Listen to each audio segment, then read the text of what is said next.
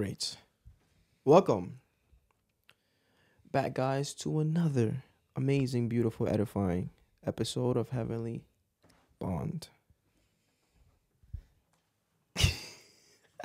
noted, noted. I'm kidding. Welcome back, guys, to another amazing, great episode of Heavenly Bond. I actually want to do a a petition for you to not do the intros anymore. what? Yeah, because your energy is so low. All right, guys, welcome back. No, okay. I'm so sorry. I'm so sorry, guys. Producer's literally panicking. I'm kidding. I'm kidding. I'm kidding. No, I had to come with a calm spirit, with a relaxing spirit, Okay. with a peaceful spirit. Amen. Thank thank the Lord. no, but um, thank you guys for clicking on this video. Um, again, beyond grateful for you all. Today we have an amazing, amazing episode, which was led by God's Almighty.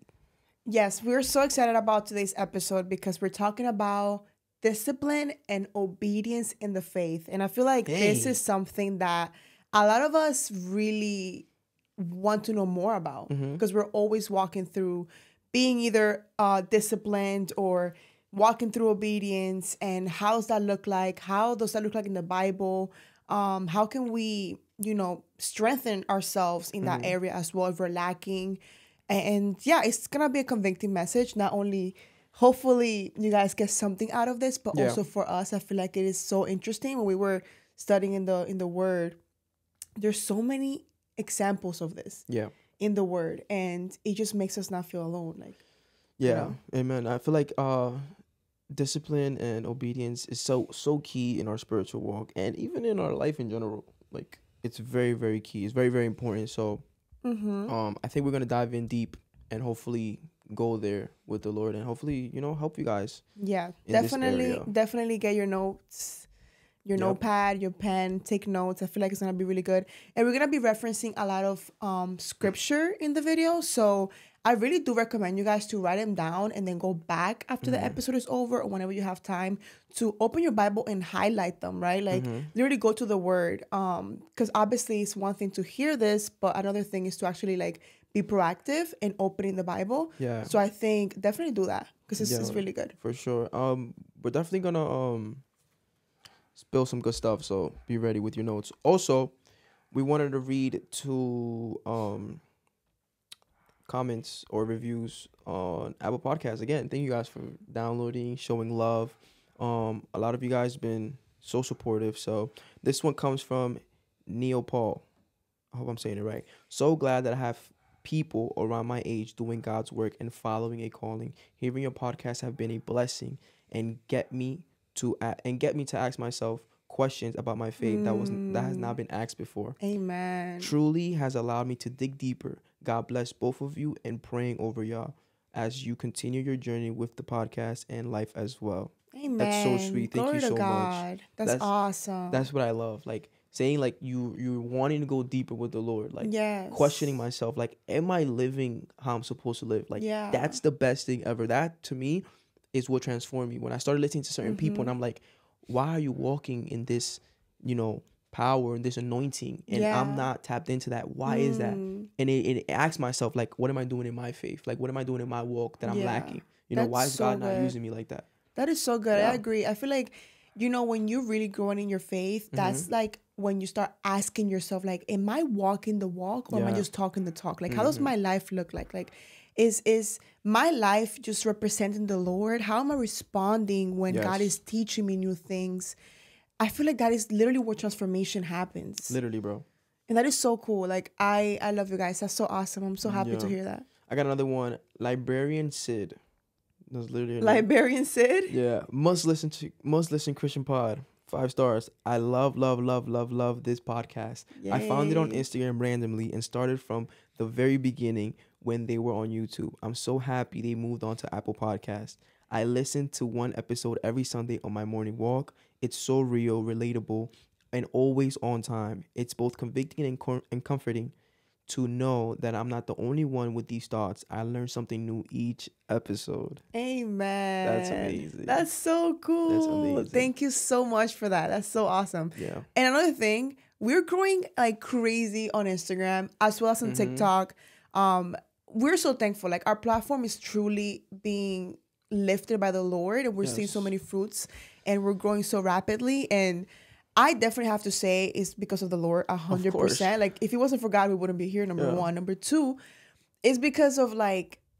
I I'm gonna be honest. I feel like it's because of how we are, mm-hmm. because we're just so unserious. And if you watch our videos, you'll be like, these kids are literally so unserious.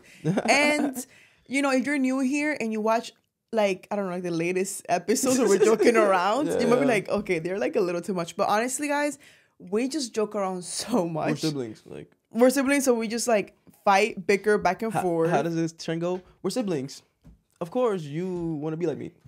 We're siblings, of course. Okay. You literally Okay, do okay. everything that I do. Right. All right. So um so yeah, like we always want to keep that up. We want to keep Mm-hmm. that essence and we just want to keep allowing the Lord to keep convicting us. No free ads. the heck? We want to allow the Lord to keep convicting us Mm-hmm. and keep transforming our lives because like I said, Oh, Imano is, is what 20 21 21 Yeah. and I'm going to turn 25 in like 2 weeks. Um Oh my goodness, you are. yeah. Yo, you are. Uh-huh. I forgot. I'm so excited, but we're super young and like Mm-hmm. we're in different stages of life as well. Like I'm gonna be a mom very soon. That's crazy. Um, so we just want to keep showing you guys that like we're young and we have things going on in our lives, but how is the Lord in our lives? Like we Mm-hmm. don't make time for God. God is literally our life, you know. So Yeah, yeah, that's super good. Mm-hmm. Amen to that because again, like we're young, like she said, like we're also doing life. Yeah. Like I feel like um this platform wouldn't be this platform if God didn't ordain it. You know, and God Right. didn't put a hand over our life. So um I hope that you're learning and you're growing with us, you Yeah. know, uh, and doing life together. can I say something? Sure. I saw in your Instagram stories the other day you were I'm kidding. The size is absolutely insane. You guys go back and look at his eyes. He literally rolled his Don't eyes. go back. Stay right here. No, go back. Don't go back. Go back. Why do you do that? Because I Explain yourself. because you're about to eat me up. No, I'm not. Okay, I'm sorry. I'm over this. oh, oh, baby. It's baby. I was gonna say that I saw your Instagram stories about like the Q and A you did, Yeah. and then someone asked like, "Oh, why aren't you guys or you? I don't know if they say us or you. Like, why aren't you guys like collaborating with other content creators? Oh, yeah, creators? yeah, yeah. Like, do you want to touch on that? Um, sure. Cause you know what? I feel like so I was I brought to the Lord Mm-hmm. and I told him like, thank you God for lifting us up and like blessing us so much in our platforms. And we just been us. Yeah. Uh-huh. You know what I'm saying? Like we always been us. And I got this message and this girl was like, How come I don't see you guys like in these conferences or like collaborating with these people? Like she was very specific about it. Mm-hmm. Yeah. And I get it. Like she's she's very innocent. You know, she's she was asking. like she was asking a question. Yeah. And then you answer that, and I was like, oh, I think we should like talk about it a little bit. Yeah, of course. Um, there's just, I feel like there's not really a, a reason for us to collab. I mean, again, if it's God ordained, if it's God ordained, we'll collab with some of these people. But again, these influencers aren't really, they're just influencers. I'm gonna be honest, I'm gonna be blunt, I'm gonna be straight up. Most of these people are not even walking the walk. They talk about Jesus in one post, and then the next post, they're posting stuff that is just so contrary. They're making music with worldly music. They're making videos with worldly music behind it, cursing and all of that extra stuff. They're all trying to ride the wave and try to do trendy stuff. And they use Jesus to uplift their platform. For us, we just talk about Jesus and the Lord uplifts our platform. So it's mm-hmm. like we don't even do it to get clicks or likes. We just love him and we do it authentically. And that's how you know where the Lord resides. So us collabing with people and trying to get, oh, let's collab, we'll be big with like I don't we don't need to collab with nobody. I generally personally don't desire to collab with nobody unless again the Lord says so. There's no reason. A lot of these people I don't see them eye to eye. And I'm not saying I'm above them. I'm not saying I'm better or whatever. No, it's just where I am with the Lord, I feel like it's not it's not compatible. It's not compatible. And the Bible says you shall know them by their fruits. And a lot of people, you know, lack certain discernment. So they just Right. see it as like they're talking about Jesus, amen. Look how everybody when they saw Lil Nas, Lil Nas X talking about God. Everybody was riding on that boat. When it's like when your spirit spiritually discerned, you know, like, come on, bro. Be for real. Like Exactly. where where is his fruits? And so I don't feel the need to collab with some of these uh, influencers, and I know God is still using them God, it's not that God is not using them. Right. They're men of God and they're women of God.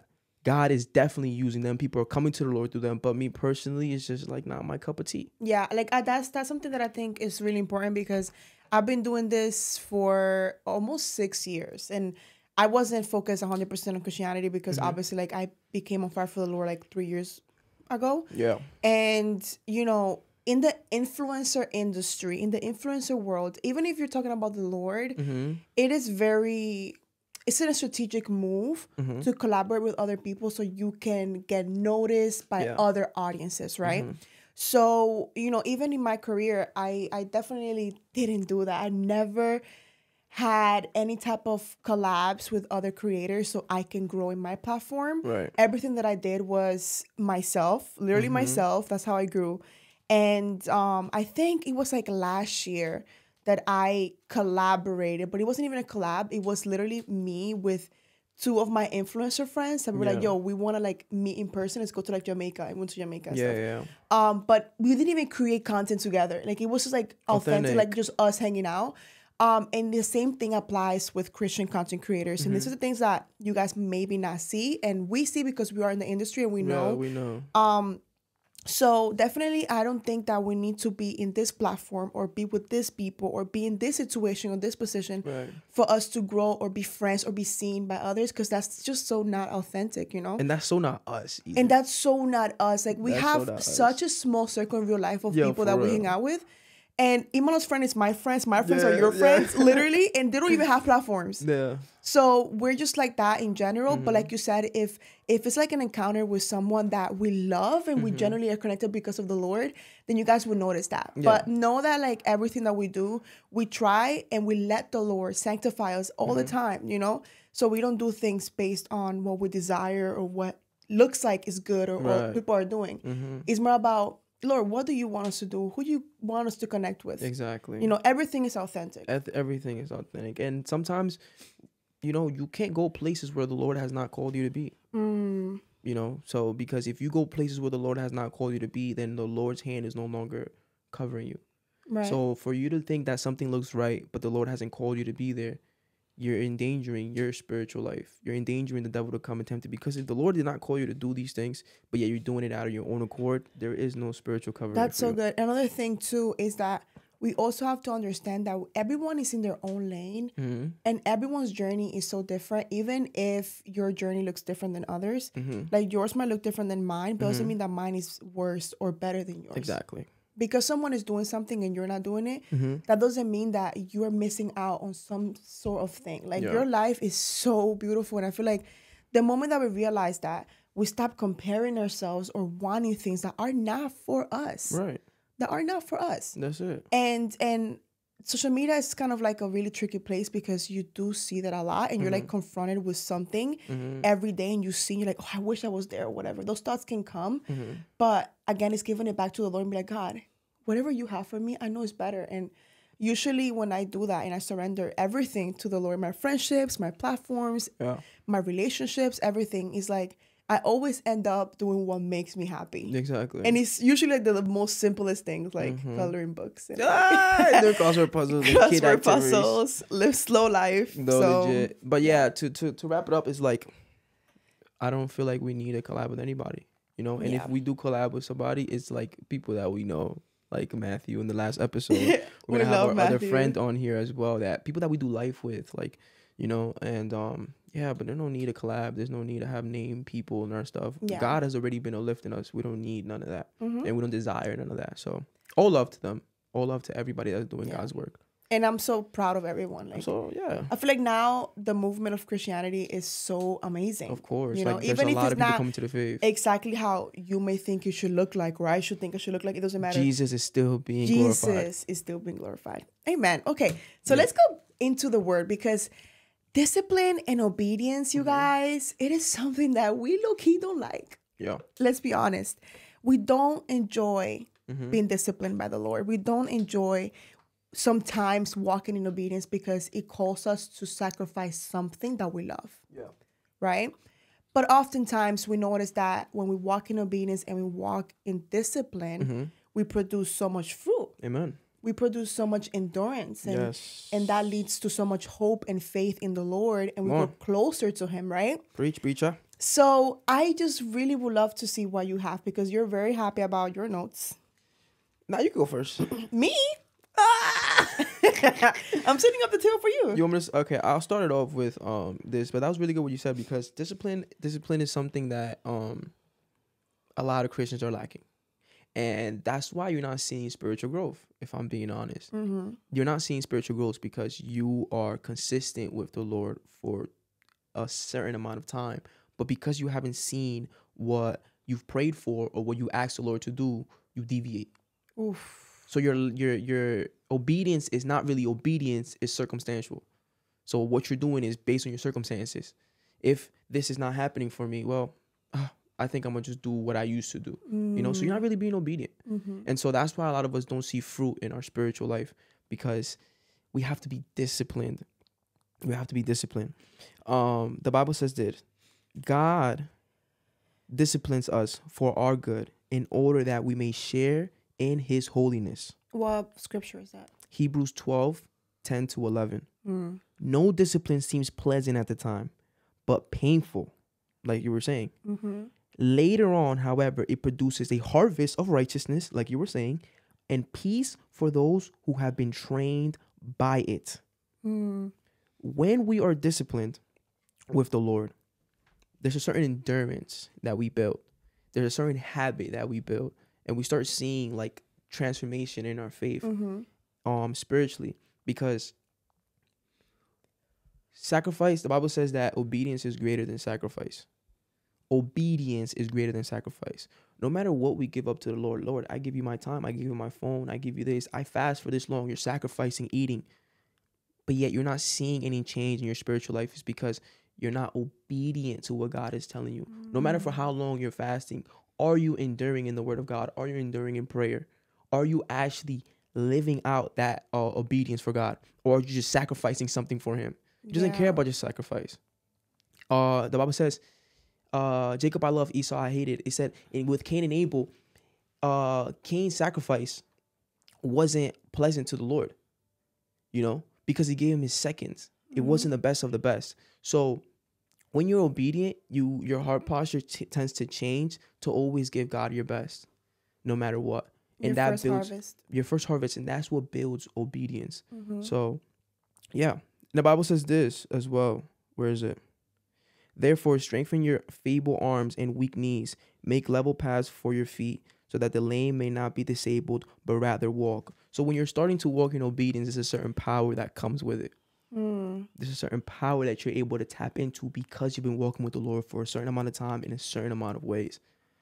So it is is really, really deep and it's something hard because it says here that it's painful. Later on, however, it produces harvest of righteousness and peace for those who have been trained by it. Trained, meaning you've been practicing it, meaning you've been doing it. The Bible says that if you're a practice of if you practice it, there means no more sacrifice. Mm. Practice means you're doing it consistently until you become good at it. So if you're obedient to the word of God and you're obedient to the Lord, there's a certain um skill level that you will build spiritually that you're like, whoa, now I'm more prone to spiritual things. Now I'm able to discern certain things. Discernment doesn't just come um because you have the spirit of God. Because you can have the spirit of God and have low discernment. Because the spirit of God gives you the discernment, but you can have low discernment. But when you're trained by God, when you're trained in the spirit, you're able to see and detest things in the spiritual because you're being trained in the spirit Wow. You know? So you're able to discern easier. That's Mm. why there's certain things that i can walk into before it would take me a long time to discern. But now that i see it right away i know whoa this is what's going on. Certain generations in our family that before i had to pray about it and seek the lord for it so much. But now since i've been trained by the lord it's quick for me to see oh that's what's going on with it. Oh there's a problem with this marriage and the kids. This is what's going on. Mhm. this was happening. My discernment is up now. That's so good. because i'm being trained by god in Wow. obedience. That's amazing. Yeah, you know how you said that um discipline seems painful, trust me right? mm-hmm. Um and then if you read up in Hebrews 12, in Hebrews 12, 7, it says, endure suffering as Uh-huh. discipline. Endure, right? Endure. endure So in in chapter 12, it is the call of endurance. And I want to read this to you guys because it's really good. Therefore, that's chapter 12, verse 1. Therefore, since we also have such a large cloud of witnesses mm-hmm. surrounding us, let us lay aside every hindrance and the sin that so easily entangles us. Let us run with endurance the race that lies before us, keeping our eyes on Jesus, Yes. the source and perfecter of our faith. Mm. For the joy that lay before him, he endured the cross, despising the shame, and sat down at the right hand of the throne of God. So it is saying here, when you endure, you're gonna be rewarded with joy. Come on. You're gonna be rewarded with joy.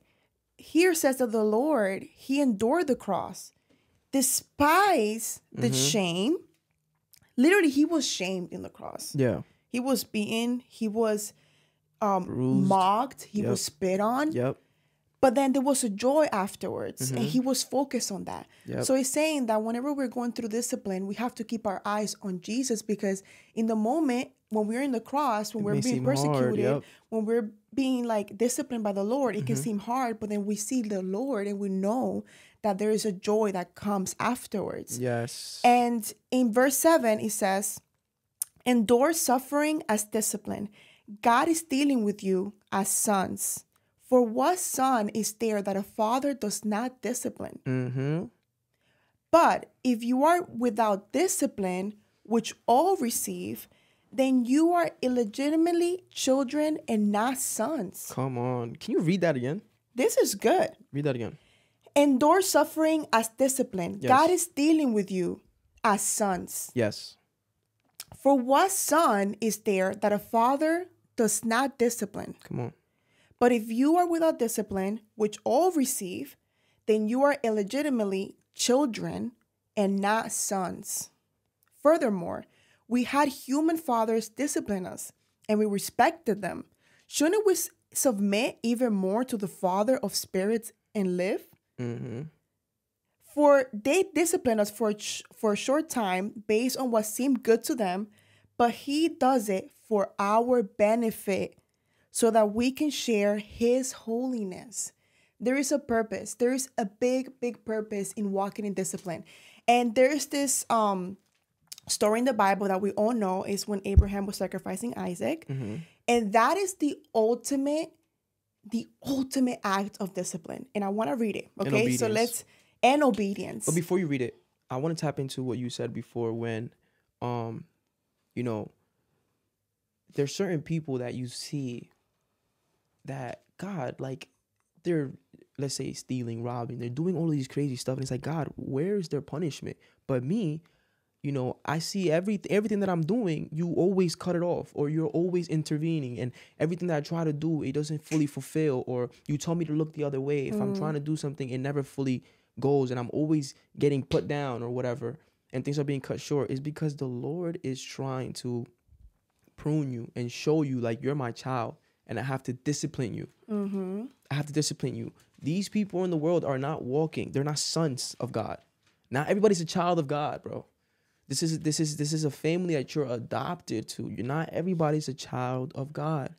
Not everybody receives that grace. Everybody says that I'm a child of God, and, and yet you're living in iniquity, you're living in sin. You're not a child of God. You get what I'm saying? And that's the honest truth. So when we gotta understand that when we're adopted into this family, there will come hardships. Things like this will happen. The Lord will discipline us. And so we have to learn and endure and love that because that's the only thing that's going to keep us from going too left. Yeah. And that's the only barriers that God is using for us to stay in those standards, in those barriers. So when you see people in the world not getting whatever they deserve or whatever, but you're always getting what you deserve, it's because God is pruning your heart. You're his son.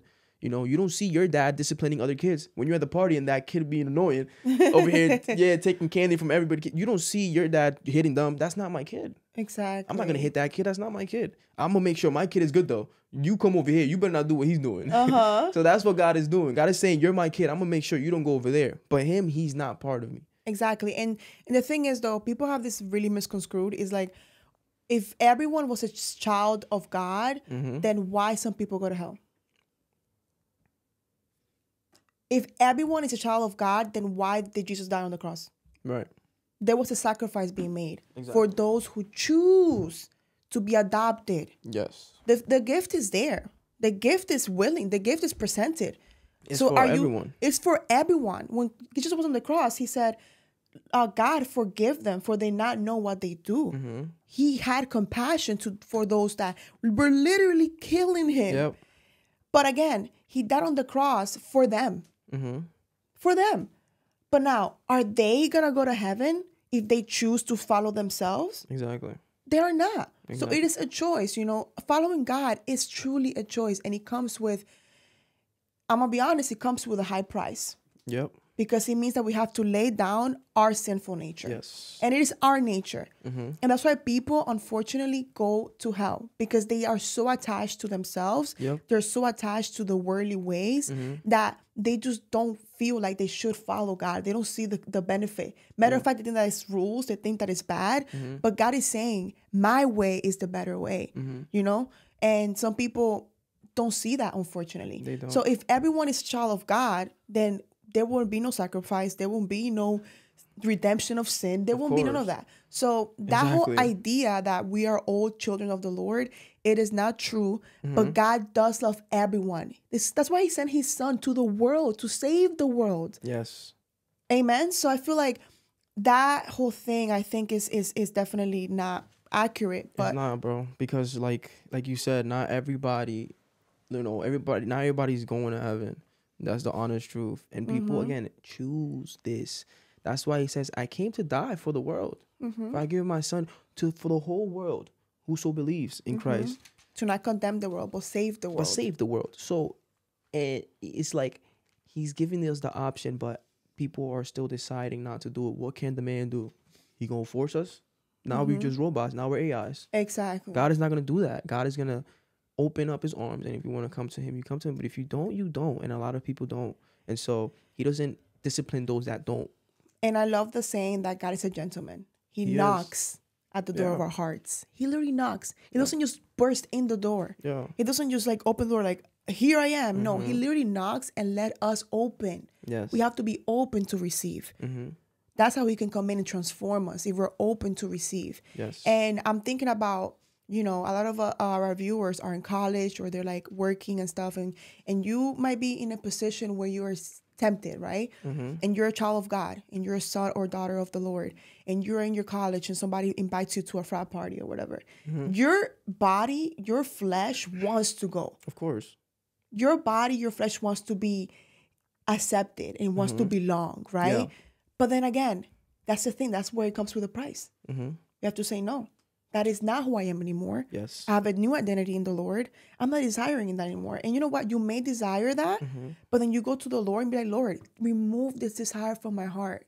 Remove this temptation from my heart, Lord. Yeah. Allow me to walk in a way that pleases you. And it's a daily thing of repentance. And especially when you're young and like you are, let's say, in a job and you see this girl and you're like lusting, let's say, mm-hmm. or, or a girl lusting over a guy, it's again running back to the Father and saying, Lord, I do not want to conform to this world. I don't want to conform to the patterns of this world. I want to be set apart. I want to be different, Lord. Help me. Exactly. Help me, you know? But it's also in the same way that um we can run to God. The Bible says this. The Bible says to walk in the spirit to not gratify the desire of the flesh. It's also an obedience thing as well.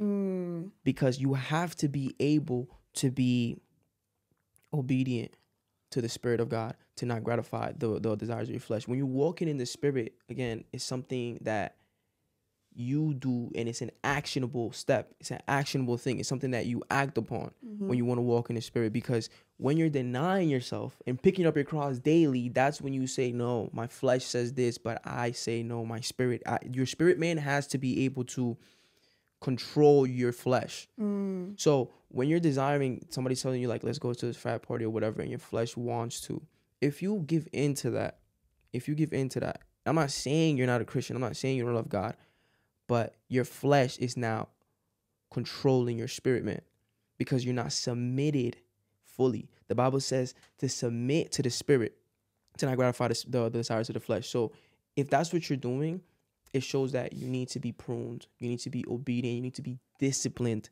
in in, in the Lord. You know, because a lot of things, we can pray for. But if we pray for it but don't have the capacity to receive it, Mm. we won't able to see the fruits of it.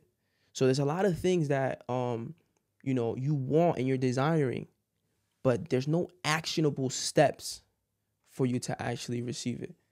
You know what I'm saying? So the spirit these things are spiritual. These things are spiritual. And so when you are able to discipline yourself to submit to the Lord, to submit to the spirit, to submit to God, to submit to your word, to submit to prayer, to submit to fasting, these things are no longer going to be a hard temptation because it will still be temptation, but they won't be hard to deny. Why? Because you're walking in the spirit. And so a lot of things that I used to deal with when I was in the world can no longer touch me. It can no longer touch me. But when I was walking with the Lord in the few, in the beginning of the years, it was hard. I was like, man, like this is tough. Do do do. I gotta go through this. I gotta go through that. But I trained myself. I trained myself to submit to my spirit. I trained myself to listen to the voice of God. I trained myself with the word and with prayer to learn how to yield to my spirit man instead of my flesh. Mm. So now when these things come, when this temptation comes, where can the devil hit me at? Because I've trained myself to be spiritually strong in these areas that I used to lack in. But it took obedience to do that. You know, it took obedience to do that. It is obedience. And um, talking about obedience, I want to talk about the sacrifice of Abraham and Isaac. And if you guys never heard the story, then I definitely want you guys to go in your Bibles and read it and study it because it's such an amazing picture of obedience. So I'm going to start in Genesis 22. And it's, uh, yeah, 22 verse 1. After these things, God tested Abraham and said to him, Abraham, here I am. He answered, Take your son, he said, your only son, mm-hmm. Isaac, whom you love, and go to the land of Moriah and offer him there as burnt offerings on one of the mountains, and I will tell you and I will tell you about. So Abraham got up early in the morning. I want to stop right there. Mm-hmm. So God is telling Abraham, go to the mountain and sacrifice your son Isaac. And Abraham didn't say, God, why? God, but why? But like, he's my only son. But like, mm-hmm. you know how hard it took me and my wife Sarah to have Isaac. Yeah. He literally got up early in the morning and went to the mountain. He didn't question God. Saddled his donkey and took him two of his young men and his son Isaac. He split wood for a burnt offering and hmm. set out to go to the place God had told him about. On the third day, Abraham looked up and saw the place in the distance. Then Abraham said to his young man, Stay here with the donkey. The boy and I will go over there to worship, and then we'll come back to you. Abraham took the wood for the burnt offering and laid it on his son Isaac. Mm. Can you picture that? You're laying your son Yeah. like a lamb, putting wood Yeah. to sacrifice him. Mm-hmm. This is insane. Honestly, this is a really crazy picture right here. In his hand, he took the fire mm-hmm. and the knife, and the two of them walked on together.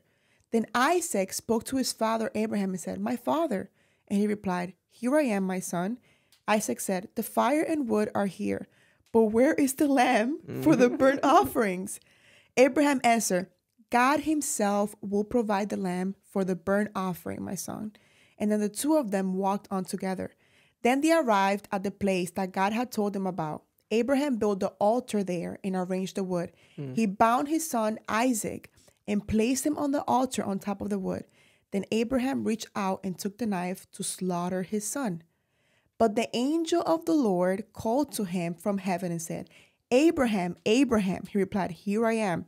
Then he said, Do not lay a hand on the boy or do anything to him. For now I know that you fear God, Mm-hmm. since you have not withheld your only son for, from me. Then Abraham looked up and saw a ram caught in the thicket of his horns. So Abraham went and took the ram and offered it as a burnt offering in the place of his son.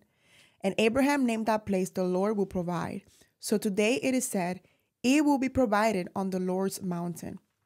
So I think this is such a crazy picture of trust. Insane, bro. So much in that. Literally trust. And at So the beginning, he said, After these things, God tested Abraham. God can test you. Mhm. God can test your faith Yeah. just to see where you're at with Him.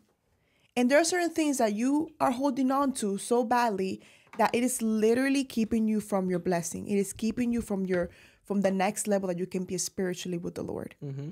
And I can say from my own experience, um, so at the beginning of last year, I was struggling so much with holding tightly to a blessing that God gave me. But now this blessing overtook the Lord. Like I was putting that first in God. And God was telling me, like, my daughter, fix your eyes back to me. And I was just like, Lord, I have so much things to do. I cannot do that Yeah. literally God took it from me. He literally took everything from me for like three months. Mm-hmm.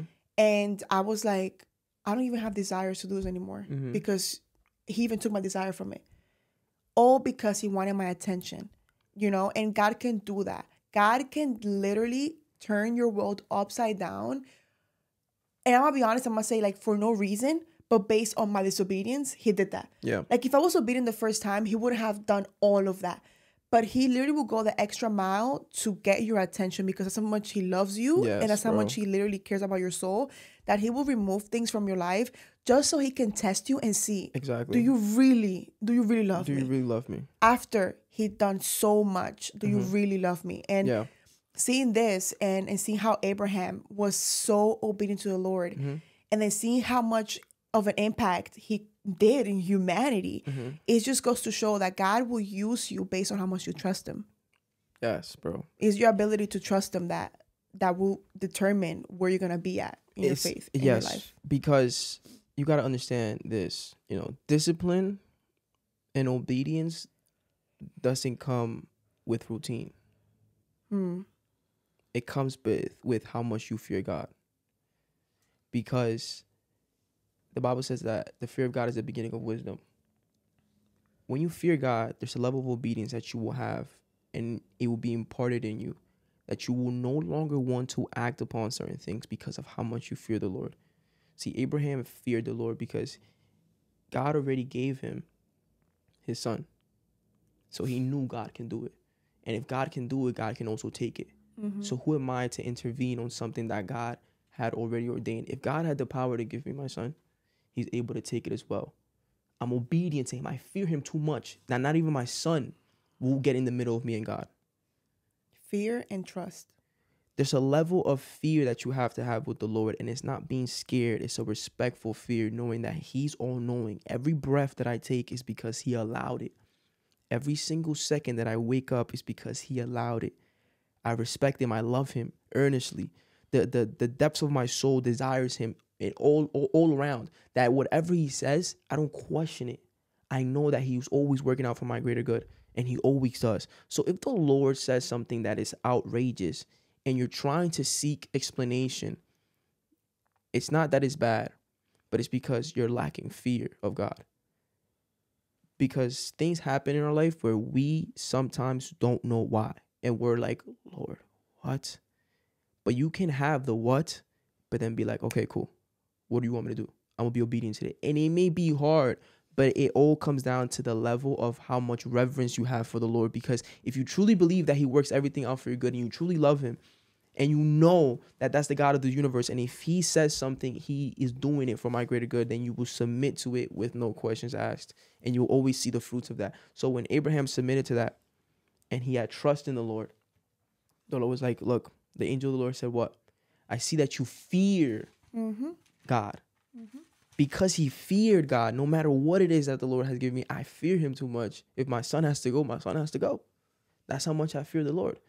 He said, Don't worry about it. I'll provide a sacrifice for you. And then he provided another sacrifice for him. But it's like Mm-hmm. the level of obedience comes from how much we actually fear God and how much we desire to be used by God too. That's so good. And and that like you said, um, the angel of the Lord said, Now I know that you fear God, since you have not withheld your only son from me. Come on. And it's like, think about that. If you today were to get everything taken away from you, I'm talking about everything that means everything to you, your family, like Job, your Like Job, yeah. house, your everything. Will you worship God? Will you say, God, I love you? Hmm. Like, be honest. Because right now you're like, yeah, of course. And then it happens, like- and you're like, well, And you're like, damn, like how can a good God allow this to happen? It's Mhm. like, do you actually fear the Lord? Do you do you know who you worship? Like mhm, genuinely, like ask yourself, like, do you know who you worship? Do you know that God is not only a God of love, but is is a righteous God? mhm, And there are consequences to our actions, Of you know? And when you're thinking about sin, when you're playing with sin, when you're dip dabbling with sin, you really have to think like, is that godly fear Yeah. that goes in? Like, mhm, I shouldn't be playing with the God of the universe. of course. I shouldn't be doing things because I want to do it and then know that I can repent so then I can calculate my things because it's going to be a forgiving God and He loves me. That's premeditated sin. That's by the way. premeditated sin, but like people literally do that. Of they course. take advantage of God's grace Mhm. and God's love, and God is not a God who you can play with. Of course. And we see that Mm-hmm. in Genesis 3, which is the temptation and the fall. Adam and Eve had everything. They were in the garden and they were just living it up. Mhm. Imagine a world with no sin, where they Mm-hmm. were just running wild, having that communication with God. They were they had everything in that garden. But then when they fell and the sin literally overtook Eve and Adam, we see that there's consequences. Yeah. Okay, there's consequences to their sin. God disciplined them. And what God did, He kicked them out of the garden. Mhm. And not only did He kick, them out of the garden, but He also said that to Eve, I will intensify your labor pains. You will bear children with painful effort. You, your desire will be for your husband, yet he will rule over you. And then for Adam, Adam, Adam. for Adam, he said, Adam. uh, Adam, Yeah. because you listened to your wife and ate from the tree Mm-hmm. about which I commanded you, do not eat from it. The grounds is cursed because of you. Mm-hmm. You will eat from it by means of painful labor all the days of your life. It will produce thorns and thistles for you, and you will eat the plants of the field. You will eat bread by the sweat of your brow, Wow. since you were taken from it. For you are dust, and you will return to dust. Yep.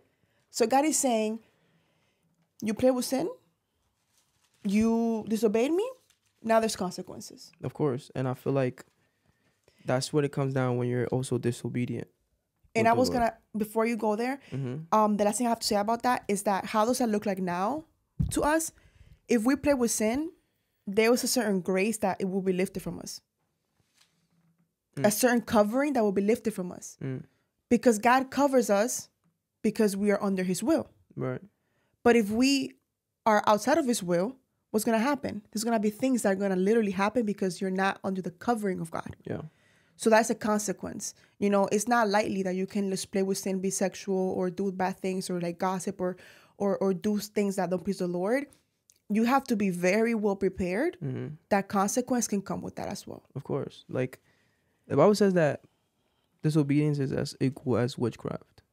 So there's a certain, I'm not gonna say spell, but there's a certain I mean, that's a covering. Yeah. There's a certain describe it. there's a certain door that you open when you're disobedient to God, where it's as mm-hmm. equal as witchcraft. Now there's a certain thing that comes upon your life that now has you. The Bible says this: it- those that are in sin, He will give them up to their own desires, aka He will give them up to a reprobative mind. So Can you break that down? When God says that when you're so deep in sin and you're dipping dabbling, you're one day with the Lord, but yet you're back in sin. And you're one day with the Lord. But you again, it's lack of fear where you feel like there's enough grace, there's enough time. The Bible says in the last days it will be like the days of Noah. People will drink, have weddings, have fun, all these things. And then judgment will come like a, a woman who's about to give labor. So it's basically telling you this that when you feel like you are free to do whatever and you're just open to just say, I'm gonna do this and I'm gonna do that. I don't care.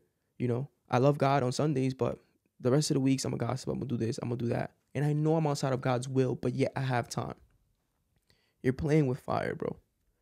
You're playing with fire. And it's a certain time where the Holy Spirit will be lifted from you Sorry. the Holy Spirit will be lifted from you because if He's giving you up to your own desires, then that means that you're now on a mindset of just on that sin, cycling mm-hmm. back to that sin. Mm-hmm. And there's nothing that can get you out of it. You're now giving into your own desires, meaning your flesh, bro. So whatever your flesh is craving, that's what you will do. That's who you will yield to. And where your flesh goes. Where's your Death. flesh going? Literally death. So your flesh only craves anything that gives it death because that's all it knows. You know, our body's already damned. We're already we're already set for damnation. Like there's nothing that we can do to save this body because it's already set for death. Mm. So when you are giving up to your own desires, bro, That's so dangerous. you no longer fear God. You're now doing this sin continually, and when you do it, there's no conviction. If you if you if you really think about that, and you're not saying Lord, that's scary. Then you really don't have the fear of God in you, and you need the fear of God in you. You need to fear Him with respect and with reverence, knowing that you're supposed to do something, but yet you're not doing it. Now that's an act of disobedience. Now you're equaling your the Bible says that it's as equal as witchcraft. Now he's comparing you to the evil, to, to the to the dark Rome. He's comparing you to the devil. He's comparing you to obedience to the devil. Mm-hmm. You know how deep that is? The Bible says that the devil has been a liar since the beginning, bro. He's only there's only evil in him. There's only one thing he knows how to do. It's Lie. lie, bro, and you'd be wicked. It's so wicked. And so when you're being compared to that because of your disobedience to God, God has God can no longer do nothing but just let you be. That's why I say that when God does not send you somewhere or ordains you to do something and you just want to do it because oh, I want to be a good Christian. This is what I want to do. There's certain things you're not yet ready to tap into, bro. And if you go to these places and do these things without God ordaining you, God can no longer cover you. God can no longer cover you. So let's be wise. And how do we become wise? By fearing God, yeah. by fearing the Lord. Hold on. So when we learn to fear the Lord and be wise in these areas and not do things out of our own accord, yes, you can have a zeal. Yes, you can have a desire. Yes, you can have such a passion for God. But there's certain things that God has not ordained you to do, but yet you're doing it anyways. And you know you don't have peace by doing it, but because you feel like you're a good Christian, I'm doing it. It's not really pleasing the Lord. And those that are dipping and dabbling with sin, knowing you shouldn't be doing it, knowing I should be walking in the spirit, you're walking in, in, in slippery slope and you're walking in dangerous roads. Yeah, and like there's this TikTok video I saw the other day, and it was um a group of like young kids, like youth, like Mhm. 18, 20 somethings, and they were pulling up to the church with Lil like Lil Nas, like one of those rappers, and then when they pulled up, they like changed the the music to Mm. like a Christian song, and they were like ha ha like like a joke, Yeah, yeah. and I'm like that is not funny. Mhm.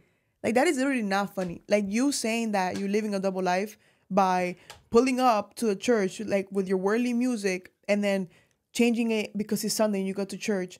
So what does that mean? That during the week you're doing whatever you want to do, but then because you go to church on Sundays, you're all of a sudden saved. You're Yeah. all of a sudden like that is literally living a lukewarm lifestyle to the core. And um God does not play with those things, you guys. It's literally knowing who is that you serve, you know? And I feel like that's the thing about society and America that they made up this Jesus where this Jesus for them is a Jesus who is all loving and all caring and like a hippie Jesus. Like that um commercial in the Super Bowl. He he gets us Oh yeah, he gets us or whatever. like he was he was like a picture of like somebody like washing like Everybody's feet. everyone's feet and it's like if you go to the bible we see that he washed his disciples feet right so it is not that he's sitting in a bar with a group of sinners that don't want to repent no he sat with sinners that wanted to change their lives Mhm. people just want to put this jesus in the in their mind so they can feel better about their lifestyle so they Mm-hmm. can feel better about themselves and it's not about how you feel it's about god and obeying god for who he is not literally what Yeah. you want him to be so Exactly. that's that punishment of god giving them up to their what's the word of mind. that's a really To their big, own desires. to their own desires. that's a big word my I The would brother. my fella No llegaste ahí. no llegó hasta ahí. Um, you know, God giving you up to your own desires is truly, you guys, Mm. it is so dangerous. If you are watching this and you're like, dang, I've been doing these things and I haven't felt conviction. Mm. If you're sitting watching this video, you're like, I I've been thinking about this thing, and I've been giving myself to this thing, Right. and I don't even feel bad anymore like I used to before. Yeah. Literally bring it up to the Lord and say, God, literally get on your face. Because you are on, on shaky ground. You're on, Yes. on dangerous territory. Whenever I feel like I'm being convicted, I Mm-hmm. feel so glad. I'm like, Lord, thank you. Thank you for it. conviction. Thank you for turning my head around. Mm-hmm. Because that's how I know that you're still working in me. Yep. You're not giving me up to my desires. You know, there are things that I do that I get convicted of, and I'm like, Lord, thank you so much. I shouldn't have said that. I shouldn't have thought about this. I shouldn't have done this.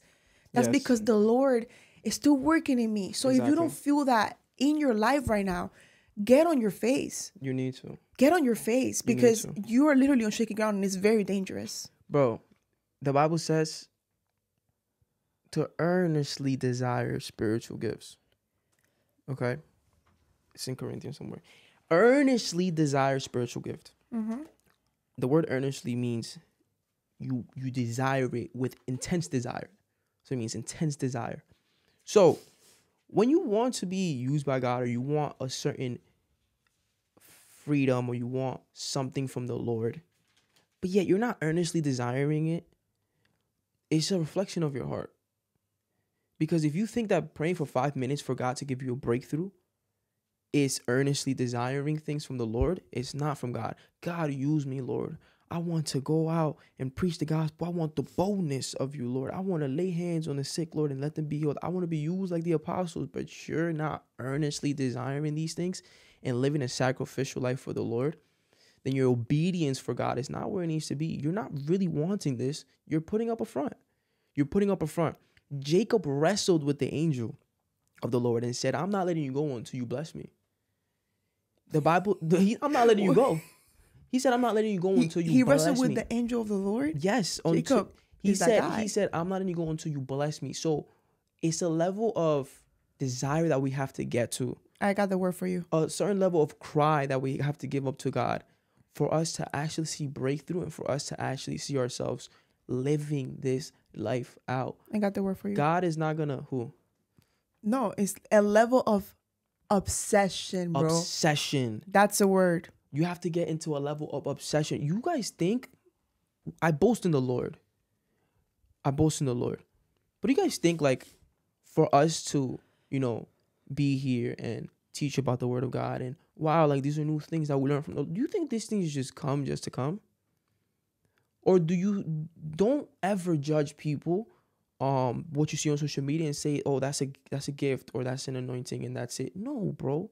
A lot of these people have spent hours and hours, timeless and timeless time in prayer, in their faith, seeking the Lord, earnestly desiring these gifts, and that's why God is using them the way that He's using them. So a lot of your favorite preachers and a lot of your favorite pastors, you don't see the behind the scenes, and you're desiring to be used like them, but yet you're not applying yourself or positioning yourself for God to use you in that way. You thinking fasting is just your phone, Mm-hmm. when fasting is abstaining from food. You think fasting is just a Daniel fast. When fasting is something sacrificial, bro. Jesus fasted for 40 days and 40 nights, no water, no nothing. I'm not saying to do that. That has to be God ordained. But I'm saying is that when you earnestly desire things, you go through processes, you go through things, you go through experiences, you go through situations where it's gonna prune you, bro, where it's gonna hurt, bro. It's gonna be painful, like it said in the word of God. People don't want to go through pain. People don't want to go through suffering. People say they want to die for Jesus, but then the first chance that they get to talk about Jesus, they're shy, they're scared, they're this, they're that. They're putting up a wall. You don't really want God, bro. So for you to actually mock God and say, Lord, I want to do this for you, I want to do that for you, and then get mad at God for not giving it to you because you're not positioning yourself to actually receive it from God is your fault, not God. Is your fault, not God. And so we have to get into the position of earnestly desiring these things. You want your breakthrough? You want to be let go from depression, these sins, and all these habitual things that you're going through? Bro, earnestly desire these things, and God will give it to you. Knock and the door shall be open to you. Seek, and I shall, you know, you, I mm-hmm. shall answer. You have to really want it for the Lord to actually come through. It is not just a 15 minute thing. It is not just a week thing. It is a daily lifestyle.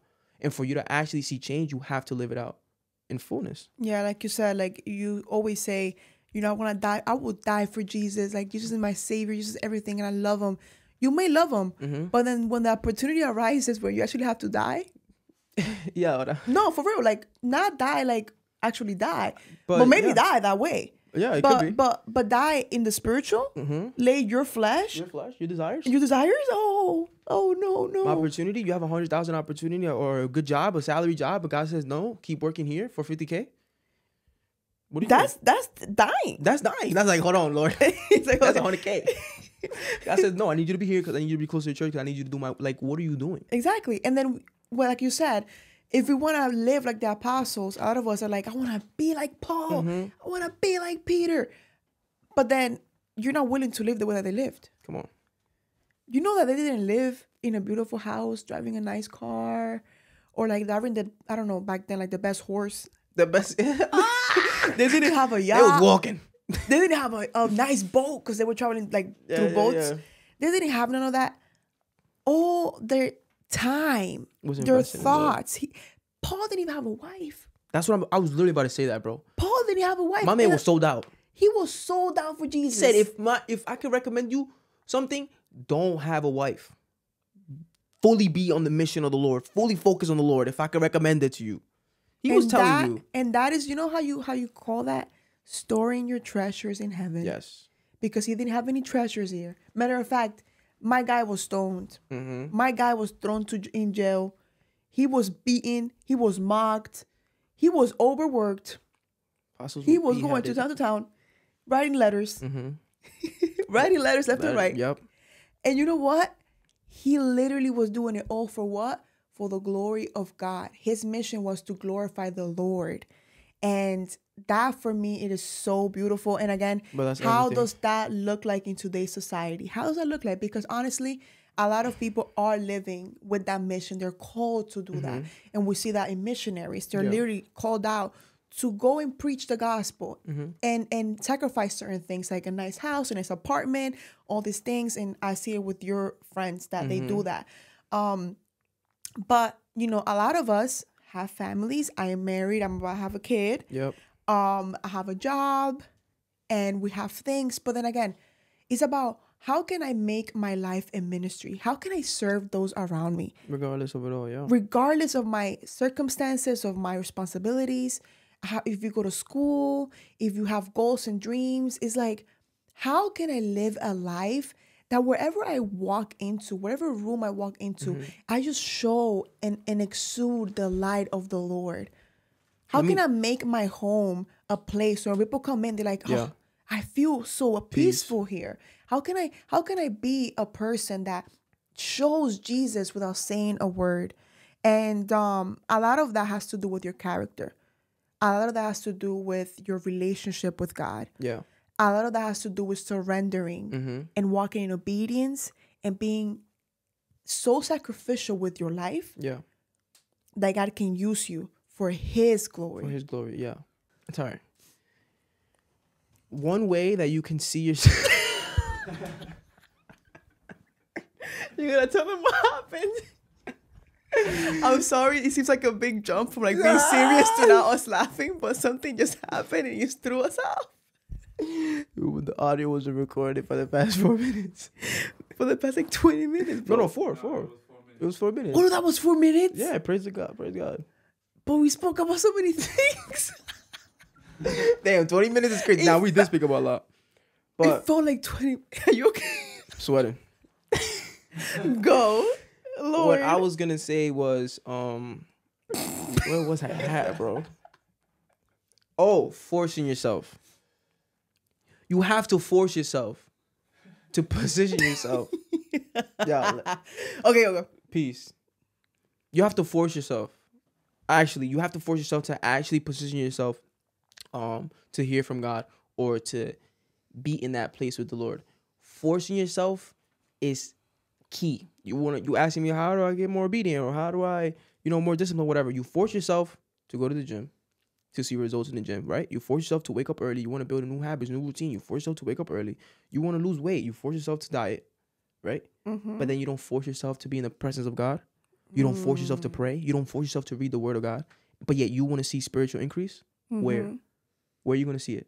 Right. Nowhere. You need to force yourself because if you're not forcing yourself to do it, your flesh is forcing you to do something else. if you're not forcing your spirit man to submit to the things of God, your flesh will be forced to do other things, aka sinful actions. You will your mind will wander any somewhere else. But again, for you to fulfill the desires, do um walk in the spirit to not fulfill the desires of the flesh, walk in the spirit. When you walking in the spirit, it's an actionable thing. You're doing it consistently. You're training yourself to be this type of person. So one advice I can give you to grow spiritually is force yourself to do these things for the Lord. Force yourself to read, force yourself to go in prayer. And when you're not, don't go in there five minutes, six minutes. Okay, I'm done. I just force myself to do it. Come on, like don't leave that spot until you feel the presence of God. Don't leave that spot until you hear from God. You how how bad do you really want it? Mm-hmm. You know, we have to think about okay, how can we glorify the Lord? How can we exalt the Lord? How can we be the salt of the earth every single day? Right. And that looks like differently for everyone, you know? Like for me, um, my focus is to walk into a room and exude the Lord. I want to have the boldness like Paul and be empowered by the Holy Spirit to walk in a pizzeria mm-hmm. and if I feel led to, preach to someone. Right. You know, like be the salt of the earth, be the difference because we have to have also that urgency in our daily lives that it looks pretty normal, like we have a family and all those things. Right. But whenever you have the opportunity to preach, literally preach with an urgency because you never know when that person gonna be the last day on Right. the earth. When is gonna be the last time that you're gonna have the opportunity to see that person? And it's like that urgency, that fire Mm-hmm. has to be there if we want to be the hands and feet of If the we Lord. We don't have to live a life where it seems so like glamorous and have a social media platform and, Right. and and look the part, but not be the part. Let's not Don't- do that. don't Let's not look the part and not be the part. And in the Bible it says, um, I believe it's in John. I think I um. One second, you guys. I No. close. I close the um my Bible, but in John it says that I am not gonna find it. It says um I literally just read it. It says Find it, find it, find it, find it. Okay. When um Thank you. when she said don't look apart, be apart is so true. You don't want to look, you don't have a form of godliness. That was what you're looking for? To have a form of godliness but no God in them? Yeah. No. You don't want to be that person That's not the verse. You don't want to be that person that has a form of godliness, a form of holiness, holier than that. Look at me, suit and tied up. Mm. But walking with no God in you. There's no power in you. I've seen people suit and ties, you know, and they've seen people in need of prayer and whatever, and just pass right by them. I'm like, what? There is no God in you, bro. Mm. There's no God in you. There's no compelling. There's no urgency. There's no overflowing spirit. Your spirit's not overflowing when you're like, I can hear from God so effortlessly, you know, because you have a form of godliness but no God in you. And in Peter, it says this. Why you find that? I In Peter, it's in the Gospels, you guys. Don't worry, I will find when it. When you um in Peter, where it says this, Peter 1, 3, 3. Your beauty, this is for women's, but this can also be implied to your spiritual life as well. Your beauty should not come from outward adornment, such as an elaborate hairstyles or wearing of gold, jewelry, or fine clothing. Rather, it should be that the inner that your inner self, the unfading beauty of a gentle and quiet spirit, which is great, which is great worth in God's sight. Basically saying, bro, you don't have to look holier than thou. You don't have to look this way. You don't have to look that way. It doesn't matter about what you're looking outside. It doesn't matter how you look outside. It matters what's inside. What's in your heart. Where is your heart at? That's the truth on um knowing where a Christian's at. Mm-hmm. It's not about what they look like, but it's about what spirit is is is, is they're walking in. Amen. What spirit is leading them. Yes. Because a lot of these Christians that don't look apart are walking in power and they ha- they have manifestations of the spirit of God and there's true transformation in their life. But other Christians are looking at them saying, "You don't look like the regular pastor. You don't look like the regular this. You're regular full of that. tattoos. You're full of tattoos and you look like this and you look like that." But yet they're walking in power and They're you with your. Twitter fingers saying you're not a man of God, you're not a woman of God, but the the, the the, Twitter fingers the social media warriors. the social media warriors calling them a false this or false that, but yet you haven't even led one person to Christ. Who are you to judge? And not, not only that, God will judge in the same measurements that you judge. So if you're saying God, they're not casting out demons, God's gonna be like, you casting out demons? Mm. That's that's not that that demon, which is another fallacy, which is another buffoonery when Christians saying, "Oh, he's casting out uh uh uh the devil, but he's using witchcraft." What did Jesus say? Satan cannot cast out Satan, bro. It's in The your kingdom word. of darkness cannot cast out the kingdom the of kingdom darkness. of darkness. So if somebody's casting out a demon in the name of Jesus and you're saying it's witchcraft, it just shows where you at. It just shows how shallow you are spiritually.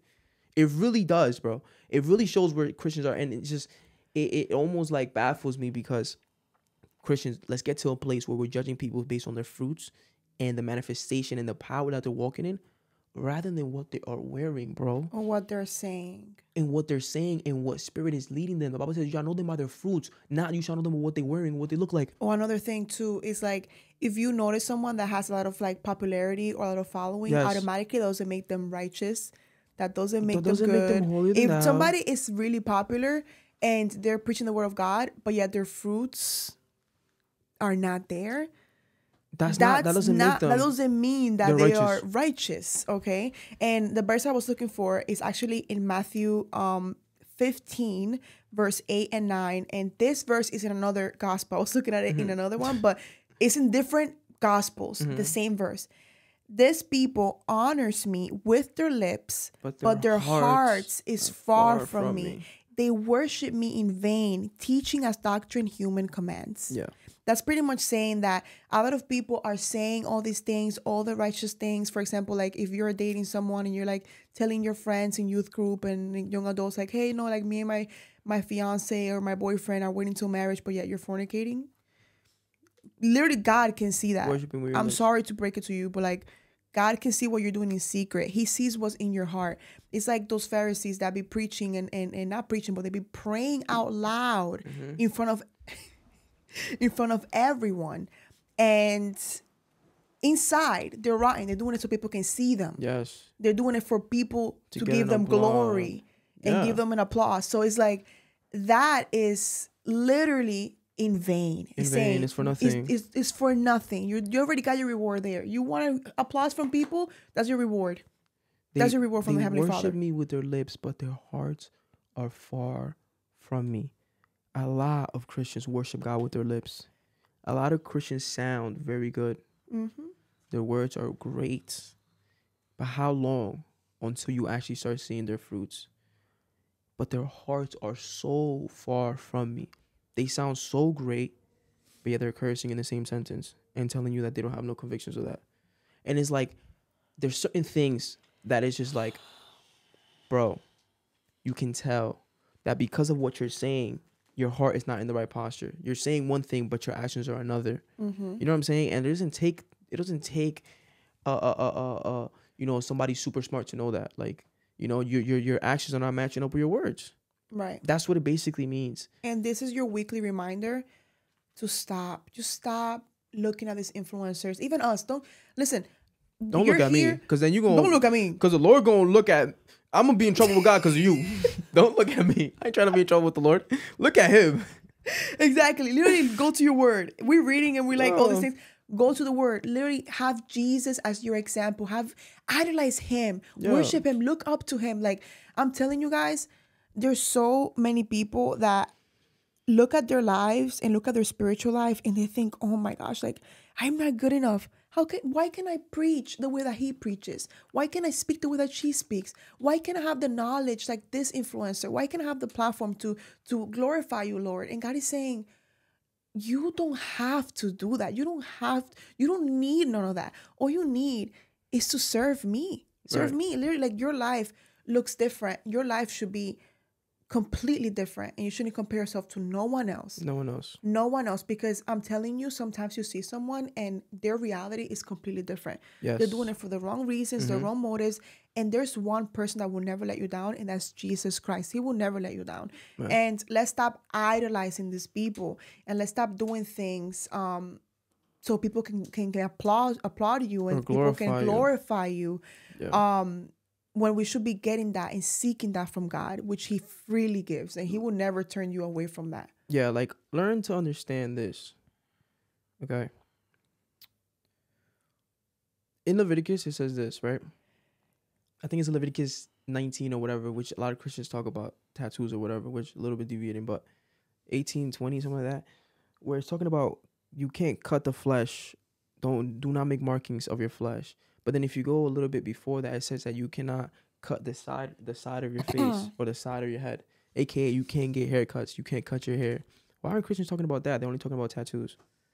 You know what I'm saying? So it's like It's you, just picking you're, and You're picking and choosing. choosing at this point now. Yeah. You know what I'm saying? Or you're judging without having full contextual evidence on what you're even talking about, which is a lot of things a lot of Christians do. Don't be this type of Christian where you're casting out stones and you're you're, you're Bible says he will judge you in the same measurements that you would judge others. hmm And sometimes Christians do that because they feel better about themselves. They, they exactly you're filling up your ego like yes. look at you. You're, like you, you're better than thou. You, have no that. tattoos, and you do like you're walking and saying, But you are not doing nothing for the kingdom of the Lord for you to be talking about certain people. You don't know what it is to be in a pulpit. You don't know what it is to run a church. You don't know what it is to have people to look after. You don't know what it has to have a, a, a flock and have sheep. You don't know. You don't know these things as a pastor. It's like you're putting yourself in these positions. And I'm not saying to righteously judge. You can definitely righteously judge. But most of you are judging without even praying or asking God, did God even send me? Because what you're doing is you're putting yourself in a slippery slope with God. Because if he's a man of God or a woman of God sent by God and you're talking bad about them or you're trying to bring them down or whatever, now you're coming against God. yeah, Because um who was it? Um the guy says that uh was it Abraham or was it Moses? Where he said like, I'm a friend. Uh uh they're they're a friend of God. AKA whatever they were going through. no, it's that it's, It's, that um, prophet that that that that killed the bro. kids with the bears. Elijah, no. Elijah, no, like if you come if you come after Mhm. a child of God, I don't think it's Elijah actually. No, um, no, if not. you if you come after a child of God, you're coming after God. I know it. Literally, No, I'm that's telling you, bro. That's literally how it is. If you come after, if somebody comes after you, Abraham. they're coming after God. I know it's Abraham. That's why you should be like letting God fight your battles because they're coming after the Lord. They're coming after the Lord, and you should never want to intervene in that. The Bible says that God called Abraham a friend, bro. You feel what I'm saying? So anything that he did, and I will literally go deep into into the um the verse that I read where God intervened for Abraham. It, it was deep, and he said, "Which one of you are amongst you are, uh, if you were a prophet?" Like he just goes deep. I'm not gonna go into it, but those that are walking with the Lord and those that have the anointing of God and those that God is literally covering and God is using to bring to the faith you're talking down upon, you're putting yourself in a dangerous situation and you don't want to do that, bro. And you don't want to do that. But another thing you were saying, if you are, let's say, like, in a way, I think that the people that are in ministry are the most holier than thou sometimes. And you have to respect them. Of course. you have to a way. respect authority a thousand percent. But, you know, like a youth leader, like, or someone that they keep correcting someone is good. Correction is good.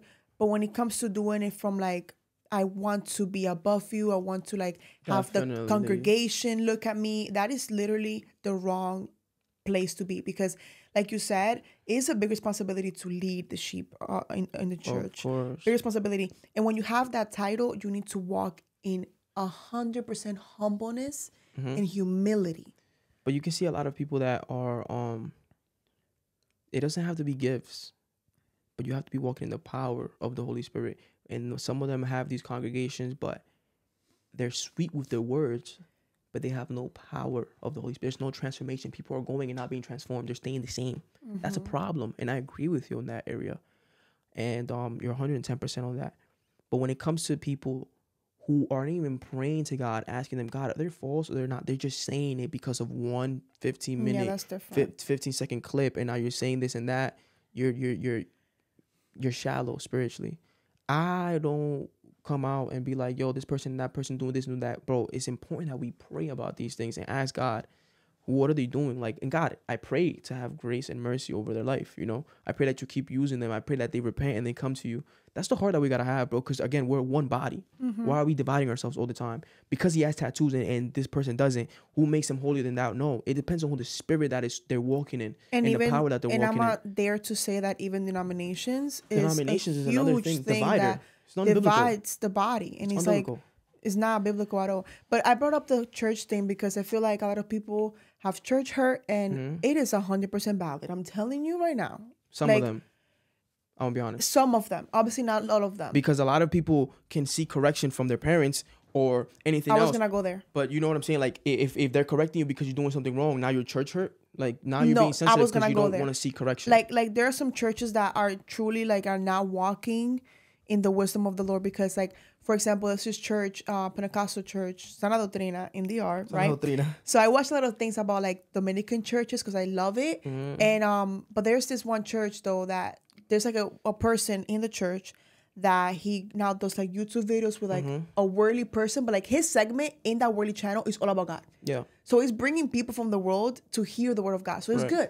of course. But then now his pastor is disciplining him to not go there because he cannot be where worldly people are. Yeah, or like you know what I'm saying? So he's like that is That's like religion. that's truly religion. Like you're bringing like you're in the world but you're not of the world. Exactly. Like you can be an actress working in Hollywood yes. bringing the light of the Lord in a dark place. That's what we're called to do. So I'm like, you know, that's like that's bad way to discipline someone a horrible way. from yes. from a I agree. way of you know you want to belittle them because your authority. Like, because you have authority Yeah. and and it's bringing so much destruction on this person. Now in American church, people literally throw the word church her so, So loosely, and we sometimes don't understand what that even means. Like you've been corrected because you are walking in sexual sin and you're worship leader, and now you're not going to sing. Let's be honest. No, for real. Like, And you're not gonna sing now because you are you have to address that with the Lord right. that is protecting the congregation because literally you leading somebody in the spirit in worship is such a holy moment bro. And everyone that is on that stage on that pulpit needs to be right with the lord Telling you. so if your church is is is strict about certain things like that like they care about your spiritual life Yeah. and they want you to get better before you start leading anyone else that is not a bad thing that's bad good thing. correction that's it's good just a discipline. whole bunch of disobedient kids. I feel like that's what it is. A whole bunch of disobedient kids that don't want um advice or don't want mentorship or leadership. They just want to do whatever they want to do. Like, Mm-hmm. who are you to think I want to do this? I want to do that. When you're submitted to somebody, you're submitted to them, and God has placed certain people in your life to better your spiritual walk. So for you to be like, I'm church hurt because I was with this worldly person and my pastor said not to be with them. They're sparing you, bro. They're trying to protect you. they're literally trying What to the- protect you What, where, the, where the heck you get church hurt from when they're just trying to look out for you? You know what I'm Uh-huh. saying? So all this comes back to and wrapping it around to we need to be obedient to the voice of God. And we need to be disciplined to the things of God. Because Mm. when we are obedient, disciplined to the things of God, it's easy for us to hear from the Lord. When these Right. situations are happening and we want to act in our flesh, exactly since we're walking in the spirit, Mm. God will convict us because we've been obedient, we've been trained, we've been pruned to learn how to walk in the things of God. So when things look like this, or in the heat of the moment, somebody's telling you don't talk to this person, gonna be like, whoa, like don't talk to this person. Like who are you? But then the Holy Spirit will tell you on where they're coming from, Mm-hmm. and that's the place that we need to get to, where we're so trained by the things of God. That we're no longer bothered. We're in peace. we're living in joy, bro. we have ears to discern when it comes from God and when it doesn't come from God. Yeah. Another example is like if you have your mom and your mom's like, yo, don't hang out with that girl. Right? And your mom is is a woman of God. Right. Right? And you still go and you date that girl. And then guess what? She breaks mm-hmm. your, your heart. And you're like, you're like, oh, my mom was right. I was right. You know, like my parent, my sister was right, my brother was right. And it's like you need to understand that mm-hmm. sometimes God uses people in your life that are right with the Lord, that you see fruit, that they actually care about you and they care mm-hmm. about God, and God can use them to speak a word in your life. And discerning that is so important. So again, it's not all about oh, you know, people don't care, people just want me to like not do this. No, sometimes it's for your good and it's for your protection. Yeah. And our rebel heart and our and our flesh can get in the way of that. And God can spare us so much for so many heartbreak and so many things that we can go through if we are tangible and we and we are are, are very um sensitive, Sensitive. to the voice of God. Yeah. Get to that place. Get to that place spiritually. And um, one last thing I want to add, um, in the book of Second Chronicles in chapter sixteen, this verse came out of nowhere, and and God brought it up literally during this podcast, and it's um chapter sixteen, verse nine. For the eyes of the Lord roam throughout the earth to show Himself strong for those who are wholeheartedly devoted to Him. God is seeking to show himself strongly in your life. God is seeking to be strong force in your life. But the key word is for those that are devoted to Him. Are you devoted to Him? bro. And when you're devoted to the Lord, like we spoke about, it is in obedience, it is in discipline, Mm-hmm. it is in a sacrificial love like Abraham, where you just don't care. What God gives, He can take away. Yeah. And having that heart and that open hand uh, um theory, where it's like you put it in here, God, and it's open, so you can take it away whenever you want to take it away, just for my betterment. Because at the end of the day, like we said in this podcast, in this episode, that life is so short that our treasures should truly be stored in heaven and it shouldn't it shouldn't be stored here on earth and a lot of the times we are so caught up in about what people say about us and um, people's opinions and and all these things that we lose sight we lose sight of the lord Yeah. And we're missing out on so many things, so many breakthroughs because we want to please man instead of pleasing the Lord. So if you're going through a season right now where you're being disciplined, if you're going through a season right now where you're being obedient to the Lord, even if it hurts, Yeah. know that there's a joy coming. Just like Jesus when he was on the cross, mm-hmm. he literally was suffering there. But he was like, I know there's a joy because whatever comes from God, from my Father, is good. And because of Jesus and his sacrifice, his big obedient sacrifice, we get to have eternal life. Yes, bro. So there's always a reward, and it may not be earthly, but it is heavenly. So, with that being said, the Bible says here in Proverbs 29 25, fear of man will prove to be a snare, but whoever trusts in the Lord is kept safe. Mhm. Don't live for people, live for God, because that's your safe haven. That's where you find purpose. That's where you find satisfaction. You will never please man, ever. But when you please God, you're all about your Father's business. People are not going to tell you, well done, good and faithful servant. The Lord is, bro. Be about your Father's business. I don't care what people say about me if I'm Mhm. doing God's will. If God tells me to speak about something, I'm going to speak about it, bro. I have no fear. I fear God too much to think about what this next person is going to say about me. So live in that same way. A, sign that you're walking in obedience and that you're walking in sacrifice and that you're walking discipline to the Lord is a manifestation of God wherever you go. Mm. That's a sign that you're in obedience and in according to God. Because if you're in disobedience, you talking about God will make you sound contradictory, contradictory, Mhm. or you will sound like you're contradicting yourself. So you wouldn't even talk about the Lord. Sign of disobedience. Because when you get a chance to talk about something, let's say relationships, yeah, you know, a godly relationship, but you're in sin with your boyfriend or girlfriend, you will never speak about God because that conviction will come about like, who am I?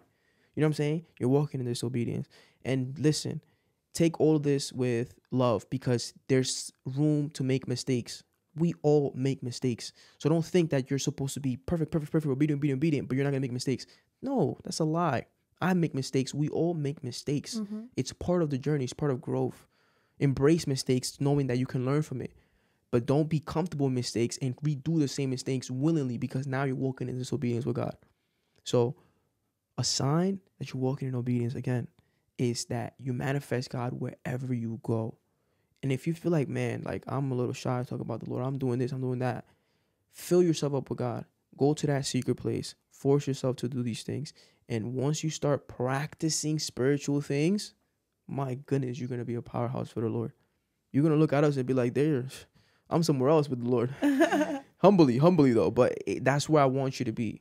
I want you to be greater than us. I want you to go out and, and be like, "Yo, like I was watching them one day, but That's crazy. I want to grow. I want to be some somewhere else." Because I, when people be like, "Hey, like you've helped me," with them. You've what? We're growing with them. We're growing with them. Yeah. So a lot of people say like, "Hey, I'm inspired by what you guys are doing. You guys have truly rekindled my fire or whatever." I want you to rekindle somebody else's fire. Mm. I want you to be that person that brings it to somebody else, to the nations. Yes. You're rekindling it for somebody else. If we Mhm. did it for you, do it for somebody else. That's where you know that this seed is planted in the right place. Yeah. So, Wow. obedience and sacrifice. Obedience and discipline. Sorry, and discipline. wow, that was Yeah. so good. I Amen. am so so excited for this, and I and I pray that this was good seed planted on good ground, Mhm. where the devil cannot choke the seed, but it's gonna be planted and harvest multiple, triple to what we spoke about here. Amen. So thank you guys so much for watching this episode. We cannot wait to hear your comments we and love you. all of your love. We're so thankful. If you guys want to listen to his podcast, go to Spotify and iTunes, Yeah. and you guys can listen to his podcast. And while you're there, give us a little review, a little um rating. It means so much to us. And, Mm-hmm. and thank, you. to all. Sorry. What were you gonna say? Thank you guys so much for supporting us on our social medias, Mhm. on Instagram and TikTok. Like we are just so in love with you guys. So thank you so much. Yeah, and thank you for all, all of you that have been giving on Cash Oh, App and stuff. We'll be having um other payment methods because I know a lot of you asked like, hey, PayPal's out, all these things. So we'll be working on that soon. Um, again, thank you all for giving, and if you feel led to give, obviously pray about it and see what the Lord is is is leading you to. Um, a lot of great things are coming. A lot of great things are coming. A lot of big things are coming. So we're just hoping in the Lord that He will do His will. So we love you guys, and again, thank you so much for your love. It is truly, truly unexplainable sometimes. Yeah, and before we leave, We appreciate um, you. you uh, you say a lot of, like a lot of things are coming, coming, coming. Um, the thing is that Sorry. all right. Um, the thing is that um, you know, those things take time, and we want to make sure that we do things with excellence. And a Of lot of people think that you know, if you see like Christian movies or like Christian music, oh yeah, Christian music, Christian movies. It's Right. like we want to do things with excellence for you guys and for Mhm. the Lord. So That's it. yeah, we love you. We love you, and thank you guys so much for watching.